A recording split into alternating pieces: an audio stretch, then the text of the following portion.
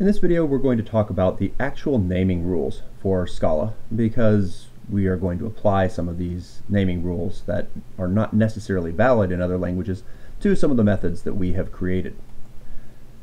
So in the code that we wrote, I'll look at the immutable version, we named our methods and our uh, member data using just standard uh, letter names. And in most programming languages, you get to make names with a combination of letters, numbers, and underscores, and it has to start with a letter or an underscore.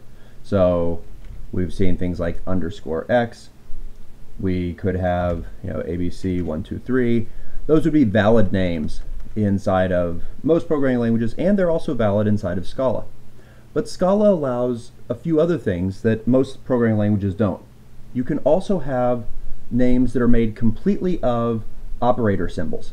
So the operator symbols that are allowed in for naming in Scala are of course plus and minus, you would expect those types of things, multiply, divide, the percent sign, which is used for modulo, um, the pipe, which was part of or, the and, uh, ampersand, which is used as and, the caret, which is an standardly used as an XOR, there is also a an exclamation point, which is typically used for the Boolean not, less than, greater than, an equals comparison, the question mark, which in Java or C would have been for a ternary operator.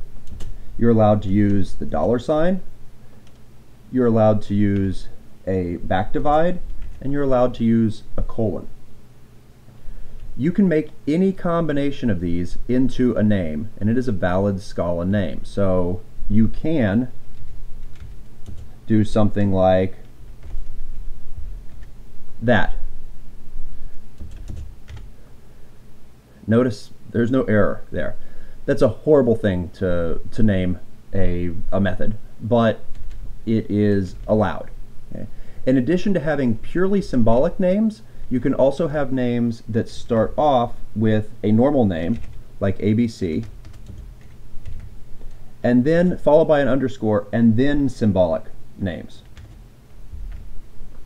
That's also an allowed name. So those are two types of names that Scala allows that you wouldn't normally get in other programming languages. Why are those allowed? Well, for something like this that is really a mathematical class, it's very unfortunate to have to add these two values using plus. I didn't do this before, but technically we could have done this because as we've talked about, any method that takes a single argument can be used uh, in an infix notation. But you really don't want to say plus here, you want to say plus. You, you want a plus sign. That's, that's what we're used to reading.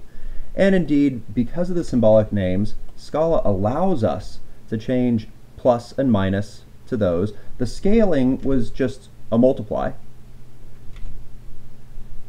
And that's happy code. And so now we can say things like v1 plus v2. I could have said v2 times 8, and that would have uh, multiplied v, all the elements of v2 by 8, and then added that in. So you can use these symbolic names in this type of example. What about for the mutable vector?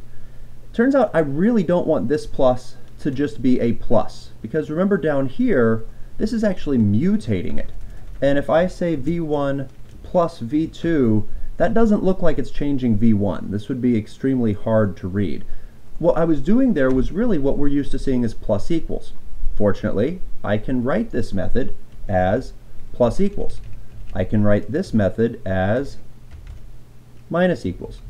And then the scale would be a times equals. Basically, I can make these methods the same names for what we were using in here to modify the scalars. And then when we write code, it's it looks like you would expect it to for normal numeric values, for example. Okay. The word of caution here, though, is that you should only do this when the names that you are using, as I said, you, you could pick some really, really bad names. Don't do that. The names that you pick need to have meaning. Okay? It needs to be meaningful to whoever is looking at your code. If they can't figure out what you're doing, then that's going to cause a lot of, of headaches. If you have something that's kind of like plus, but it's not exactly plus, don't call it plus.